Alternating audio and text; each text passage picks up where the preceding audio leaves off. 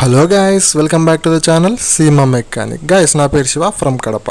ఈరోజు వీడియో ఏంటంటే మనకు చాలామంది బండ్లకి కిక్కర్ దగ్గర నుంచి ఆయిల్ లీక్ అవుతుంటారనమాట ఇప్పుడు నేను చూపిస్తాను చూడండి అక్కడంతా ఆయిల్ పట్టేసి దానికి దుమ్ము అంటుకొని మట్టి అంటుకొని గలీజ్గా కానొస్తుంది అనమాట చాలా మందికి ఈ ప్రాబ్లం వచ్చే ఉంటుంది. మీ బండ్లకు ఒకసారి చెక్ చేసుకోండి. అండ్ నా బండి కూడా సేమ్ ప్రాబ్లం ఉంది. అండ్ కొంతమంది ఏమనుకుంటారంటే ఈ ఆయిల్ లీకేజ్ వచ్చి ఏదైనా క్రాక్ వచ్చింది దానివల్ల లీక్ అయి ఉంటుంది ఏదైనా హోల్ పడి ఉంటుంది ఇంజన్కి అని కొంతమంది భయపడుతూ ఉంటారు. అలాంటి భయాలు ఏం పెట్టుకోవద్దు. నేను ఇది ఎందుకు లీక్ అవుతుంది ఎట్లా చేసుకోవాలని చెప్తాను. ఫస్ట్ ఆఫ్ ఆల్ మనకు కిక్కర్ తీసేయాలి పక్కకి. నట్టు తీయాలంటే ఒక స్పానర్ ఉండాలి. Twelve mm spanner. కొన్ని వెహికల్స్కి ఇలాంటి నట్టు వస్తుందన్నమాట. సో దానికి ten MM spanner. Maximum ten MM ఉండే బోర్డులో ఇస్తాడు కిక్కర్లకి. కొన్ని దానికి ట్వెల్వ్ ఎంఎం అవసరం వస్తుంది. సో దాన్ని మనం ఓపెన్ చేయాలి. ఫస్ట్ ట్వెల్వ్ ఎంఎం స్పానర్ తీసుకొని ఓపెన్ చేస్తా. హీరో హోండా స్పెండర్ అట్లాంటి వాటికైతే టెన్ ఎంఎం స్పానరు పైన ఇస్తాడంట మన బోల్ట్. సో బోల్ట్ తీసేసి కిక్కర్ సపరేట్ చేసి మనకు ఏమైందో చూద్దాం. సో బోల్ట్ తీసేసాను. కిక్కర్ తీసేటప్పుడు ఫ్రీగా వచ్చండి తీయండి. లేదంటే ఒక రాడ్ ఏదన్నా వేసి స్క్రూ డ్రైవర్ వేసి బయటికి లాగండి వచ్చేస్తుంది. ఇబ్బంది పడాల్సిన అవసరం ఏం లేదు. సో చూసారు కదా ఇది మట్టి పేరుకొని పోయి ఆయిల్ సీల్ అనేది డ్యామేజ్ అనమాట ఆయిల్ సీల్ వచ్చేసి మనకు మట్టి ఎక్కువ పడకూడదు అక్కడ. మట్టి పడిందంటే ఆయిల్ సీల్ కిక్కర్ కొట్టినప్పుడల్లా మట్టి లోపలికి వెళ్ళిపోయి ఆ లబ్బర్ని డ్యామేజ్ చేస్తుంది. ఇప్పుడు నేను బ్లాక్ కలర్ రౌండ్గా ఉంది కదా అది ఏమవుతుందంటే మట్టి పడి మట్టి ఇసుక రెన్యువల్ ఉంటాయి కదా అవి లోపలికి పోయి ఆ లోపల ఉండి స్ప్రింగ్ కానీ లబ్బర్ని కానీ డ్యామేజ్ చేస్తుంది అనమాట అది. సో అక్కడ ఎక్కువ మట్టి ఉండేలా చూసుకోవద్దు. ఒకవేళ ఆయిల్ సీల్ పొయ్యి లీక్ కాకుండా బాగా నీట్గా ఉండే బండ్లు ఉంటారు కదా వాళ్ళు కూడా ఆలోచించుకోండి. ఎక్కువ క్లీన్గా ఉంచుకునేందుకు ట్రై చేయండి అక్కడ. నేను దీన్ని పెట్రోల్తో నీట్గా క్లీన్ చేస్తాను? కొంతమంది వాటర్తో చేసుకున్న చేసుకోవచ్చు. అయితే ఎక్కువ పెట్రోలే ప్రిఫర్ చేయండి. ఎందుకంటే ఆయిల్ జిడ్డు అనేది నీట్గా పోతుంది అనమాట పెట్రోల్ వేసినప్పుడు. పెట్రోల్ వాడితే ఆయిల్ జిడ్డు అనేది ఉండదు. ఫ్రీగా నీట్గా ఉంటుంది. మనకు ఎన్నిసార్లు నీళ్ళు వేసి కడిగినా కొంచెం జిడ్డు అనేది ఉంటుంది ఇంజన్కి. పోతే పోయింది పది రూపాయలు పెట్రోల్ మహా అంటే నీట్గా క్లీన్ చేసుకోండి పెట్రోల్తోని సో మనకు జిడ్డు అంతా పోయిందంటే నీట్గా కనబడుతుంది అనమాట ఇంజన్ కేసు. జిడ్డు జిడ్డుగా కాకుండా.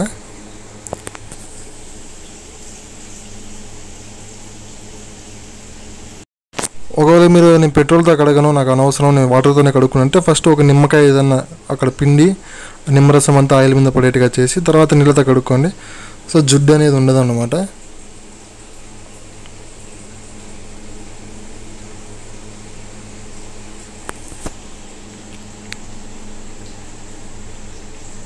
నెక్స్ట్ ఏం చేస్తారంటే ఒక ఫ్లాట్ స్కూడేవర్ తీసుకోండి. స్టార్ స్కూడేవర్ కాదు ఇలాంటి మైనస్ ఉండే స్కూడేవర్ తీసుకొని ఆయిల్ సీల్కి మధ్యలో పెట్టి రౌండ్గా తిప్పినట్టు తిప్పితే బలంగా. బలం పెట్టండి ఏ ఇబ్బంది లేదు పోయేట ఏమి ఉండదు అంతా. ఆయిల్ సీల్ ఎట్లా మారుస్తాం కాబట్టి. బలంగా పెట్టి తిప్పినారంటే ఆయిల్ సీల్ అనేది బయటికి వచ్చేస్తుంది అనమాట సో ఆయిల్ సీల్ వచ్చేసిన తర్వాత ఆ లోపల కూడా పెట్రోల్తో నీట్గా క్లీన్ చేసుకోండి. లోపల కూడా ఆయిల్ పాత ఆయిల్ ఉంటుంది కదా. కొత్త ఆయిల్ ఎక్కినప్పుడు బాగుండదు. చూసేదానికి బాగుండదు పనితనం కూడా బాగుండదు. సో లోపలంతా నీట్గా క్లీన్ చేశాను. ఇప్పుడు నేను సుజుకి కంపెనీ నుంచి ఒక ఆయిల్ సీల్ కొనుకొచ్చుకున్నా కంపెనీ ఒరిజినల్. ఇది ముప్పై ఎనిమిది రూపాయల రేటు. సో ఇది ఆయిల్ సీల్ అనమాట కొత్తది. మీరు కొనుక్కునేటప్పుడు సేమ్ సైజ్ ఉందో చెక్ చేసుకోండి. ఎందుకంటే కంపెనీ అయినా సరే స్పేర్ పార్ట్స్లో బయట బయటలో అయినా సరే ఆయిల్ సీల్ ఈ మధ్య చాలా ఘోరంగా ఇస్తాను ఎవరెవరు కొత్త వాళ్ళు కొత్త వాళ్ళని పనిలో పెట్టుకుంటారు ఆయిల్ సీల్ అసలు సైజే మ్యాచింగ్ ఉండదు. అట్టే ఇచ్చేస్తారు. సో ఫస్ట్ మీరు ఏం చేస్తారంటే చెక్ చేసుకోండి. మీ పాతది కొత్తది తీసుకోండి సైజ్ కరెక్ట్గా ఉందో చెక్ చేసుకొని అప్పుడు తీసుకోండి. సో ఆయిల్ సీల్ ఎక్కిచ్చేసిన తర్వాత జాగ్రత్తగా ఎక్కించుకోండి. ఎందుకంటే లోపల స్ప్రింగ్ అనేది ఉంటుంది రౌండ్గా అది బలంగా పెట్టేటప్పుడు కానీ ఆడ రాసుకొని స్ప్రింగ్ ఏమైనా నలిగినా లేకపోతే కట్ అయినా వేసి కూడా వేస్ట్ మనం ఆయిల్ సీల్ వేసుకున్న తర్వాత స్క్రూడేవర్తో ఇట్లా అడ్డంగా మధ్యలోకి పొడిచినట్టు కాకుండా అడ్డంగా స్కూడేవర్ పెట్టుకొని ఒత్తుకోండి. మరీ ఎక్కువ లోపలికి పోకూడదు. మరీ ఎక్కువ లోపలికి పోకూడదు బయటికి ఉండకూడదు. అది ఎట్లా అనేది నేను చూపిస్తా. ఫస్ట్ ఆఫ్ ఆల్ మీరు బాగా నీట్గా ఒత్తేసుకోండి. అంటే బయటికి కనిపి బయటికి రాకూడదు అది. లెవెల్ అనేది లోపలికి ఉండాలి మరీ లోపలికి ఉండకూడదు.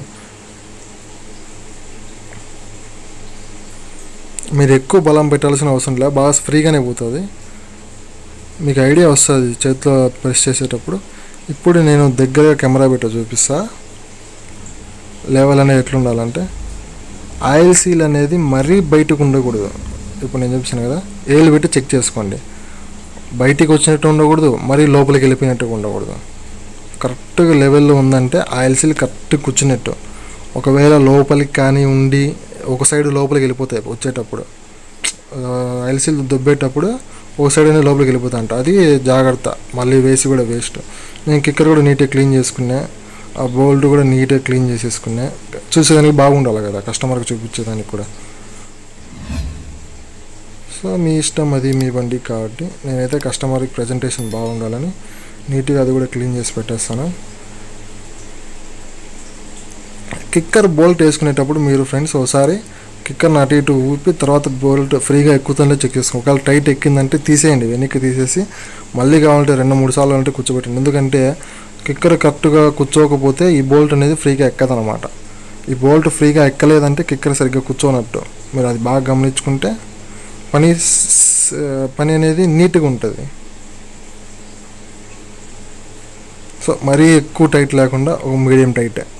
బౌల్ట్ టైట్ అంటే దానిలోకి సో చూసారు కదా ఫ్రెండ్స్ బాగా నీట్గానే వచ్చింది బండి.